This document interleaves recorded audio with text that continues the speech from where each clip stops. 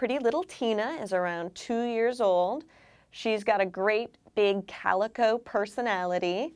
She has lots to say. She can be very chatty at times.